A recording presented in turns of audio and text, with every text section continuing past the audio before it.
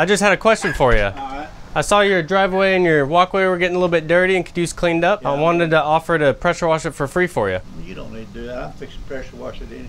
Well, I got a big commercial pressure washer. I can save you some time. When you gonna do it? For free? Yeah, I can stop by first thing in the morning. I won't charge you a dime. Well, I appreciate it. Yeah, I'll get looking real nice for you, sir. Appreciate it. Hey everyone, this is Spencer with SB Pressure Washing, and I knocked on this door and offered to the homeowner to clean up his driveway completely free. He was an older man, and this work really could help him out because of how slippery the surface could become while it's wet. He told me I could go ahead and do the work, so I came back first thing the next morning to get started. Unluckily for me, it rained the entire time. But besides getting wet, rain actually helps to rinse the surface off as I'm cleaning, so it's easier for me to keep going between rinses. The homeowner was out there watching me the entire time, and I don't mind it that much because usually people are just curious how it works and like to watch the transformation. So be sure to stay to the very end of this video because the before and after pictures make this look like a completely different home. And if you haven't done so yet, click that subscribe button down below for me as this is the best way to support this work that I do. I hope you all have a great one. I'll see you next time. SB Pressure Washing, out.